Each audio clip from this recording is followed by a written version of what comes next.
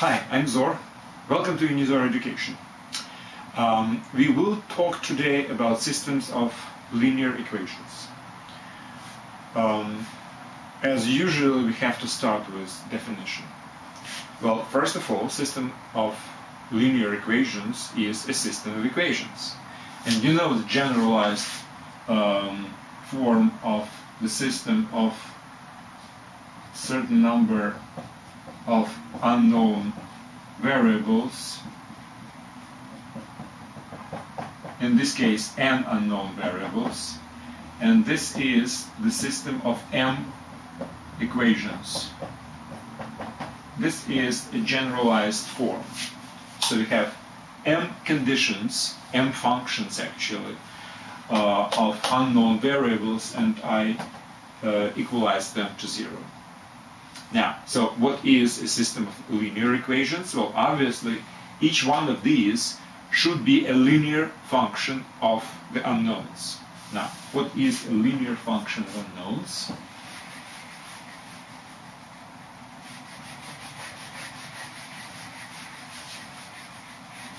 Again, generalized format is the following.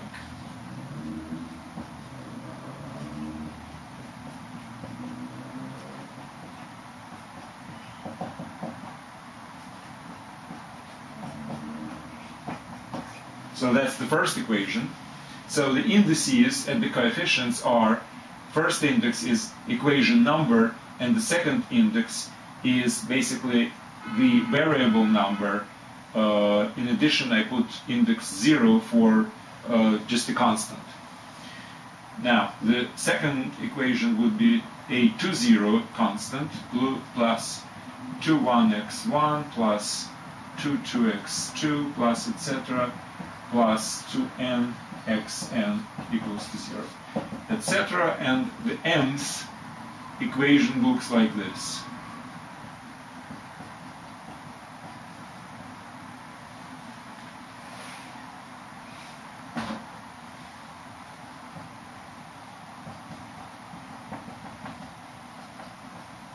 mn xn equals to 0.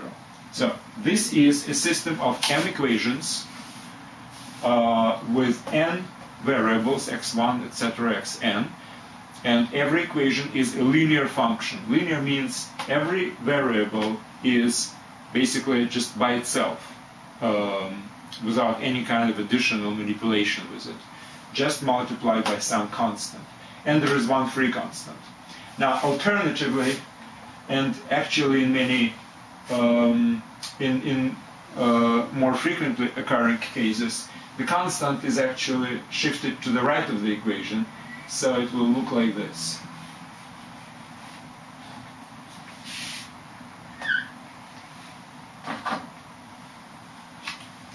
This would be B0, uh, sorry, B1,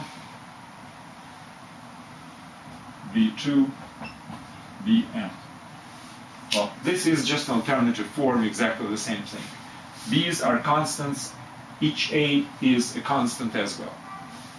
Now, can we consider any system of n equations with n variables that look like this a, a, a good and meaningful system of uh, linear equations? Well, the answer is no. First of all, think about um, these coefficients. A very important quality for each of these equations is that at least some of these, at least one actually, uh, of these coefficients should not be equal to zero. Because if everything is equal to zero, I mean all coefficients in one particular equations are equal to zero, then let's think about if the right part is also zero, then you have 0x1 plus 0x2, etc., plus 0xn equals 0. Now, what is this? This is basically identity, and any combination of x1, x2, etc., xn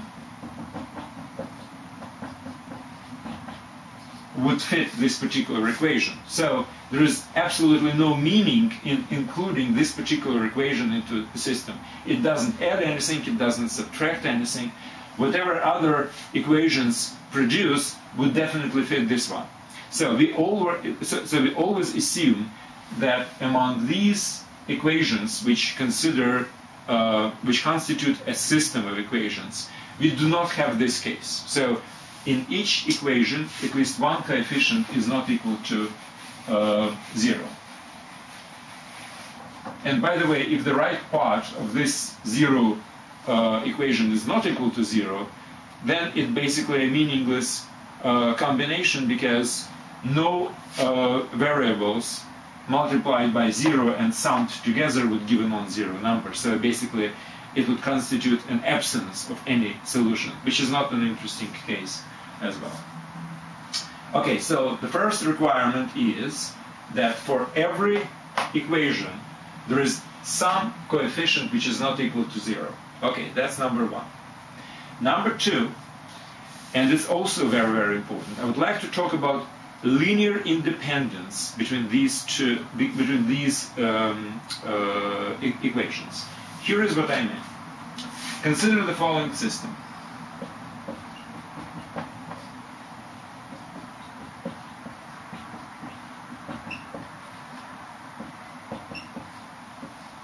Okay. Now, think about this. If we subtract from the second equation, the first one, x and x, x and minus x would uh, nullify each other, z minus c, z would nullify each other, 2i and y will result in y on the left side, and 2 minus 1 will result in 2. So basically, this equation doesn't really bring any new information. It's derived, it's dependent, it's linearly dependent in this case, on the two other equations. Which means, basically, it's exactly the same thing as if I don't have this equation at all. And I have only two equations with three unknowns, which, as I mentioned uh, many times in the previous lecture about the systems of equation in general, this is usually the case when we have a, uh, an unlimited, infinite number of solutions. And basically, indeed, you can have the solution like this. Um, uh, x is equal to 1 minus 2, this is y, which is 2, and minus z.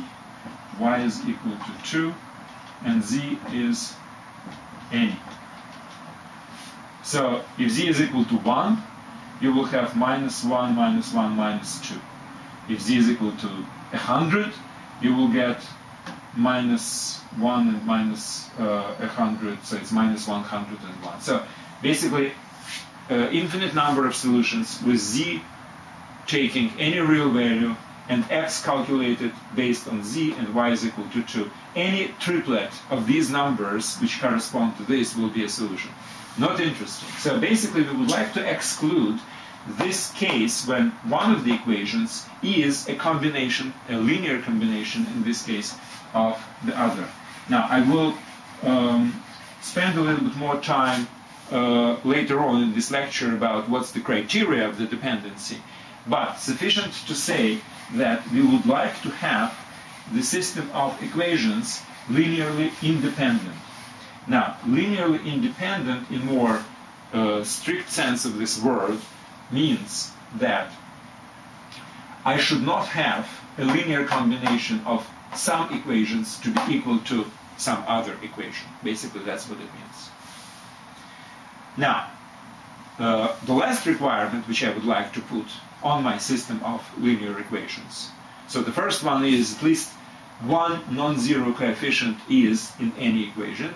Number two requirement is linear independence. And number three, I would like to have the case when m is equal to n. So number of equations should correspond to the number of variables. Now, obviously, if m is less than n, uh, as we saw many times before, we will have infinite number of solutions. Not interesting. Now, if m is greater than n, and um, system uh, is independent, then most likely we will have a situation of no solutions at all. Not, in, not, not, not interesting neither. So this is a typical requirement for a system of n uh, linear equations with n variables. So coefficients, at least one non-zero in each one of them, linear independence and the equality between the number of equations and the number of variables. So if our equation uh, system of equations satisfies these requirements, then we will consider it as a meaningful, a valid um, system of n linear equations with n variables. And we can attempt to solve it, obviously. Now, it brings us to the concept of solution. How can we solve this particular uh, system of equations? Now, I did briefly touch the uh, method of substitution when I was talking in general about um, system of equations. In case of linear equations, and again, we're talking only about good, meaningful system of linear equations. Now, in, in, in this particular case, we can always use the method of substitution. Always. And it always works fine. Now, here is basically the simple um, example. x plus y plus z is equal to 6. X plus 2y plus z equals to 8. And 2x plus y is equal to 4. Now, what I would like to do is I would like to solve this particular equation, system of equations, using the method of substitution, which is basically a straightforward method which does not require any ingenuity. You just know the algorithm, you know the methodology, just use it and you will get the solution. Now, how to get the solution to this particular equation? Well, again, the method is extremely simple. First, we use one equation, let's say the first one, and we express one of the variables in terms of the other variable. So, in this particular case, we can derive that x is equal to 6 minus y minus z. Right? So by adding minus y and minus z to both parts, left and right, we get this. On the left we will have only x, on the right we will have this. And now we can substitute it instead of x to here and to here. Now what do we have in this case? Well, 6 minus y min minus z plus 2y plus z equals 8. and 2x, which is 2 times 6 minus y minus z plus y equals to 4. Now, as we know is supposed to happen, the method of substitution in one step reduces the number of equations by 1 and reduces the number of variables by 1. So now we have only y and z and only two equations. All right. Now let's simplify this y minus y and y it's one single y minus z plus z well that actually no, uh, nullifies each other and the constant 6 and 8 so it's 2 okay the first equation after simplification gives immediately the value for y. That's good. Now the second equation um, minus y plus y, uh, no, minus 2y, sorry, plus y, that's minus y, uh, minus 2z equals to, this is 12, this is 4, so it's minus 8. Right? Okay, now, obviously we can substitute this 2 here, and we will have minus 2 minus 2z equals minus 8, or um, 2z goes there, 8 goes there, it's 6, z equals to 3. Okay, so we have y equals to 2, z equals to 3, and now using this original substitution, we can say that x is equal to 6 minus 2 minus 3 is equal to 1. So x is equal to 1. So my solution to this system of three equations with three unknowns is x equals to 1, y is equal to 2, and z is equal to 3.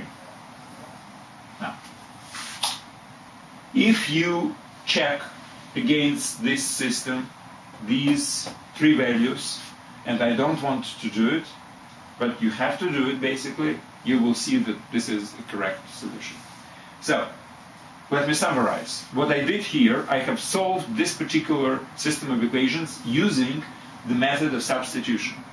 I took one particular variable from first equation, expressed it in terms of the other, other two, substituted into the other two equations, getting uh, only two equations with two uh, variables, which uh, turned to be a very simple one. And basically, even if it's more complex, I can do exactly the same thing again and again and again. On each step, I'm reducing the number of equations by one, number of variables by one.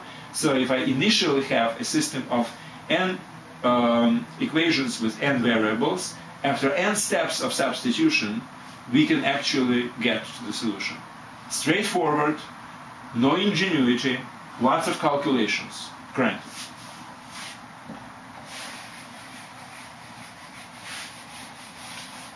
Now, let me try to use exactly the same method in a general case of two equations with two variables. Now, what is a general case of two equations with two variables? Here it is.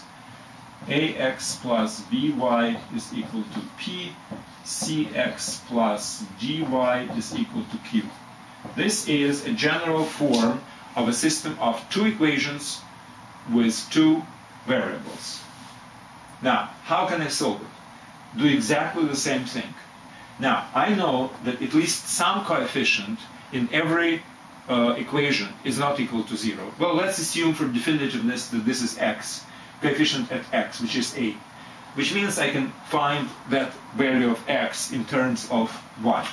It would be x equals uh, p minus by divided by a, right? Now, I substitute it into this, and I'm getting only one equation with one variable y, which is c p minus by divided by a plus dy equals q. Multiply by a, open the parenthesis, cp minus bcy plus a dy equals a q from which I can uh, say that y times ad minus bc equals aq minus cp from which y is equal to aq minus cp divided by ad minus bc. So this is the answer for y. And using this, we can find the x.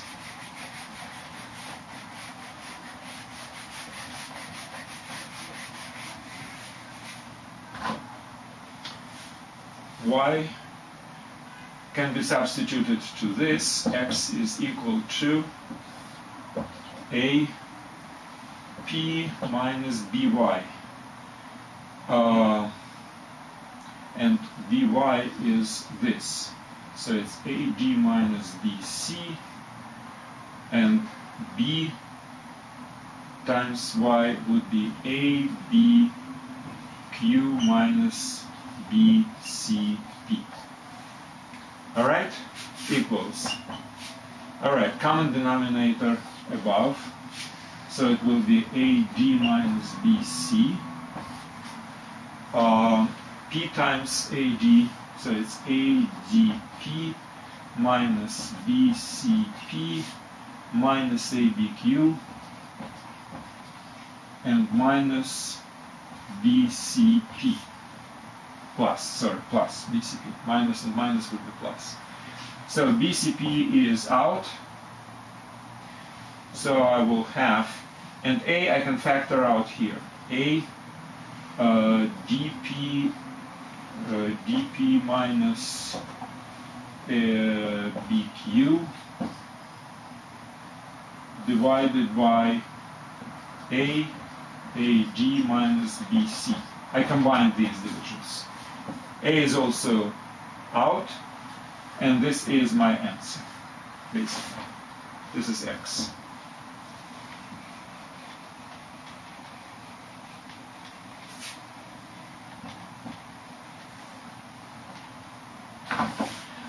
Now, what's interesting about this? Denominator. You see, I'm dividing by this, so it must be not equal to zero, right? So this is a very interesting condition. So if you have an equation like this, AD minus BC must not be equal to zero for this particular solution to work. All right, just remember this particular property of the system of two equations with two uh, variables. But anyway, the method of substitution gives you the, gives you this solution in case when AD minus BC is not equal to zero. Okay, okay, this is, this is good. Now, but why and when AD minus BC is equal to zero? Well, you remember that in the definition of the system of uh, definition of the good system of uh, n equations with n variables, I suggested that it should be linearly independent. So my statement right now is that this particular denominator, being or not being to equal to zero, actually means that this system is or is not linearly dependent, um, uh, linearly independent. So if this is not equal to zero, this is linearly independent. And this, if this is linearly dependent, then this is equal to zero. Now, I can actually very easily prove it.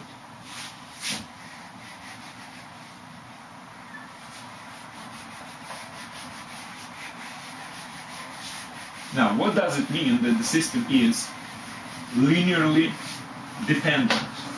Well, it means that there exist some numbers u and v. So if I will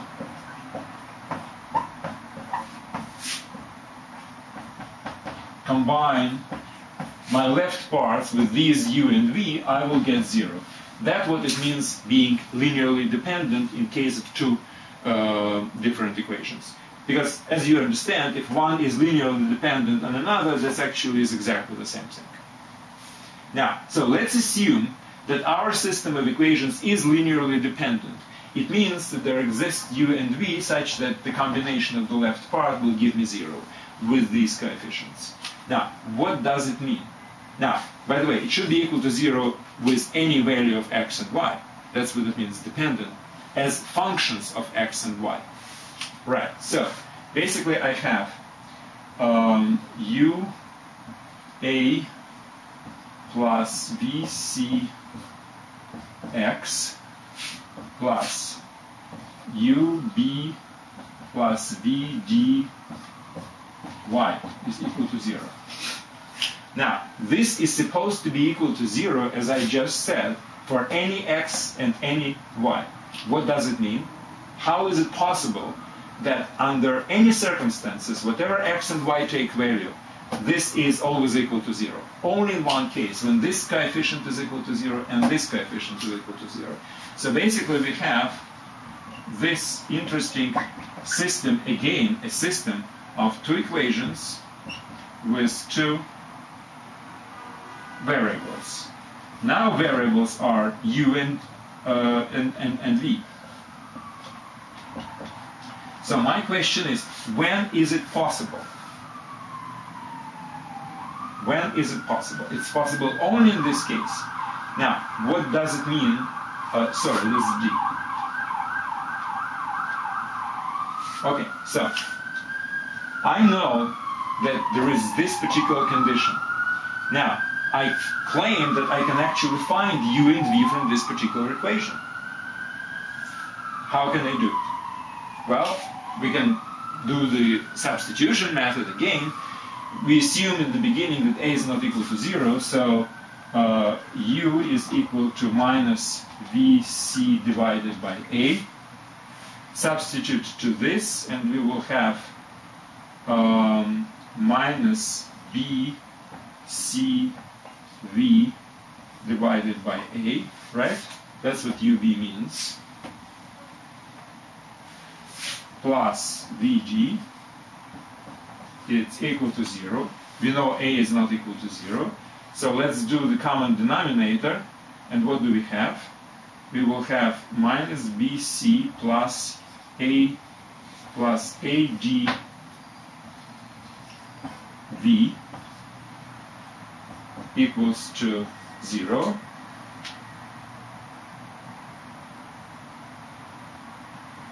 Now, if this particular thing, again, EG minus BC, is equal to 0, then we can find any value of V will, will, will actually fit. And then U can be calculated from this. Now, if however, if however, BC, uh, AD minus BC is not equal to 0, then V must be equal to 0. And if V must be equal to 0, then U must be equal to 0. And obviously this is not a linear dependency because yes, of course I know that 0 times this plus 0 times this would be 0. This is not a linear dependency. Linear dependency means that U and V are not together equal to 0. But again, if AD minus BC not equal to 0, then V must be and U must be equal to 0. So system would be independent. And if it is equal to 0, then we can find any number of values for you and me to actually uh, make the system dependent. Well, that's actually the proof that this particular expression, AD minus BC, is a characteristic property of the system of two equations with two unknowns, which basically determines whether the system has or it doesn't have one and only meaningful solution. Okay, so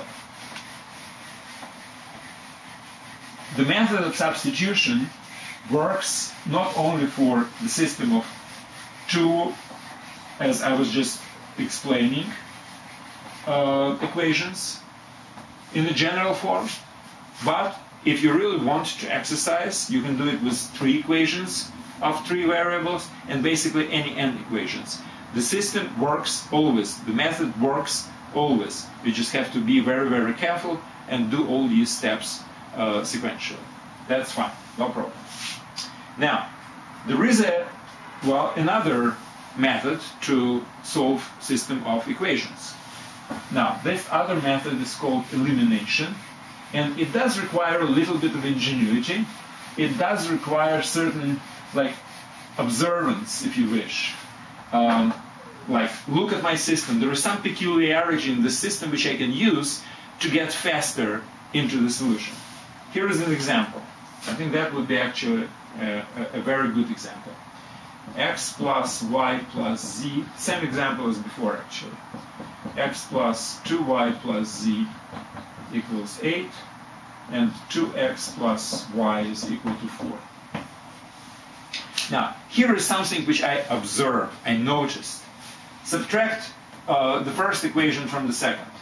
You see, x and x will eliminate each other, z and z eliminate each, uh, from each other. y minus y plus 2y would give you uh, y is equal to 8 minus 6, which is 2, immediately. Right? So I didn't do all these manipulations, x expressed as 6 minus y minus z, substitute into other others, into others, etc. I immediately subtracted these two things, one from another, and got the solution. I just noticed it. You know, call it ingenuity. Now, if you substitute it here, you will immediately get that 2x is equal to 2 and x is equal to 1. So this is solution, this is solution. 1 and 2, 1 and 2, so this must be 3. Right? So z is equal to 3. This is a faster method. So sometimes you can notice that this particular elimination thing really gives you a significant uh, saving in the time you have to spend relative to uh, substitution method. But again, it does require certain observance, and obviously not every system of two equations can be, you know, solved this way.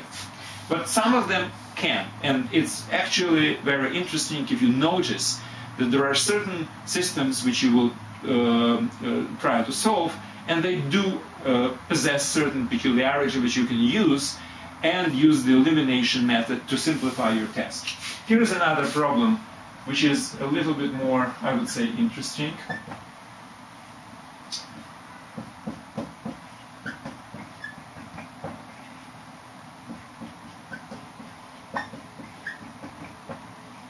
Okay, what's good about this system? It's kind of symmetrical, you see? Minus z, minus y, minus x. So it looks, it looks nice. I don't know if people feel certain aesthetical feelings about systems of equations, but if, if, if I would consider that there is some aesthetics, this definitely is part of it. It has certain cyclical symmetric uh, symmetry, if you wish. How can I solve this particular equation just based on, uh, on again, some peculiarity of this system? Here is something which I can suggest immediately. Summarize all three of them.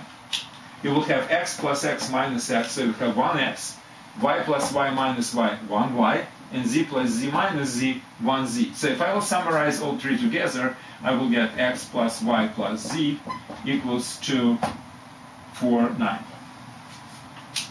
Does it make my life easier? Yes, of course. Because what we can do right now is the following. Look at the difference between this and let's say this. If I will subtract from this, I will subtract this, so I will have x and y both eliminating each other, and only z and minus z would be, so it will be z minus minus z equals 9 minus 1. So it's 2z equals to 8 and z is equal to 4. Right?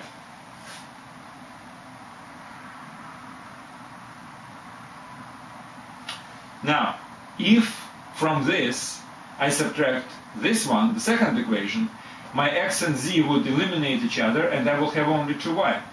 I would have y minus minus y is equal to 9 minus 3, which is 9 minus 3, which is 6 to y, so y is equal to 3.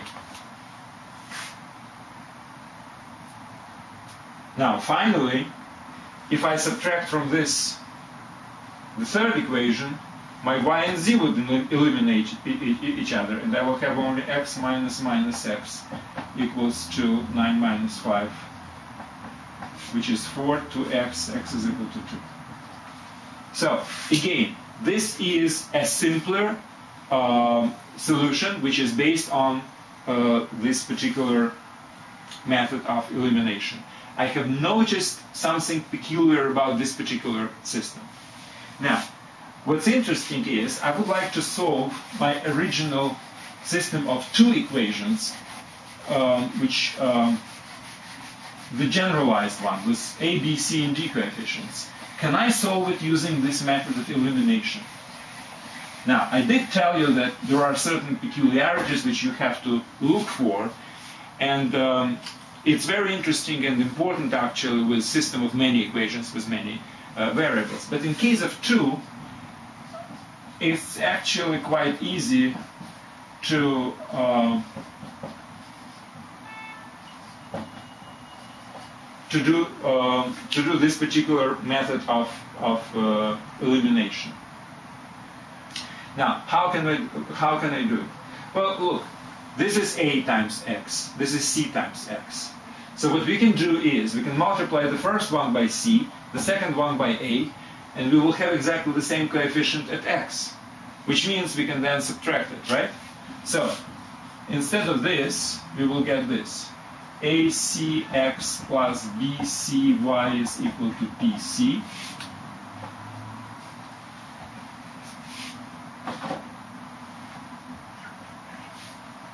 And this one by A, so it's ACX plus AD.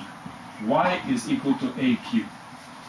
Now, if I subtract them, I will have only Y, and the coefficient at Y would be AD minus BC. Y is equal to AQ minus CP, from which y is equal to AQ minus CP divided by AD minus BC. And if you will compare it with my method uh, uh, of substitution, it's exactly the same thing. But faster, as you see. So again, I have basically shortened my um, my solution. Now, if instead of this I will uh, aim for elimination of y, I would have to multiply this by d and this by b and then subtract. So it will be adx plus bdy equals dp and this by b would be bcx plus bdy equals b uh, q.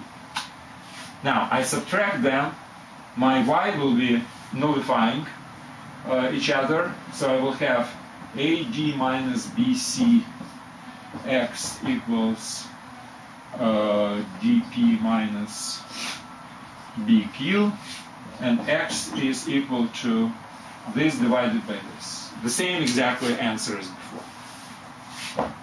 So, in case of the system of two equations, the method of elimination actually can work even in the generalized uh, form.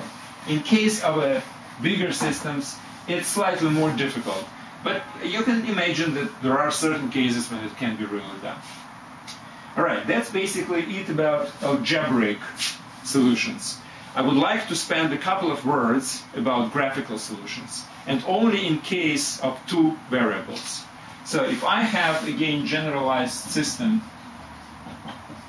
of two equations with two variables, I can always um, think about the graphical representation of this and this. So if x and y are coordinates, then what is the representation of this and what is the representation of this?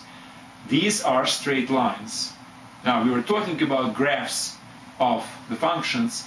These are straight lines. So any linear dependency between x and x and y constitutes a, a, a straight line. Now, two straight lines can either be parallel to each other, or they can coincide with, with each other, or they can intersect uh, each other.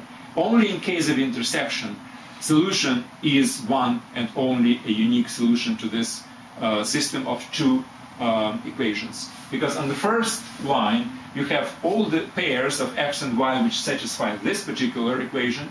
On the second line, you have all the x and y pairs which satisfy the second equation, and only in case these lines intersect each other in one and only one point, you can say that the, this point of intersection is coordinates of x and y, coordinates of the point, uh, with um, uh, satisfying both equations, this one and this one, because this intersection point belongs to the to both to both lines. Um, okay. Now, um, well, the question is under what circumstances um, you have uh, these two lines uh, parallel to each other, or intersecting each other, or coinciding with, with each other. Well, coinciding is simple when these two equations are exactly the same. So if you have something like, well, the same, or they can be actually factored. So it's basically, if this is the first equation, if the second equation is Ka plus Kb, uh, Kax, I meant, plus Kby is equal to Kp. So if C is equal to Ka with K some number, D is equal to KB and Q is equal to KP, but K is exactly the same factor. Obviously, K can be basically reduced and you will have exactly the same equation twice. So these two uh, lines, in this case, completely coincide with, with, with each other. Now, if they are not like this, but like this, where key where, where q is not the same k multiplied by phi. So these are proportionate left and right, but the right sides uh, are not proportional to each other. So these have certain proportion, proportionality and the right part is not. Then you will have two parallel lines. And only in case the left parts are completely linearly independent, then you will have one and only one intersection. Well, basically that's it. That's all I wanted to talk about um, systems of uh, linear equations.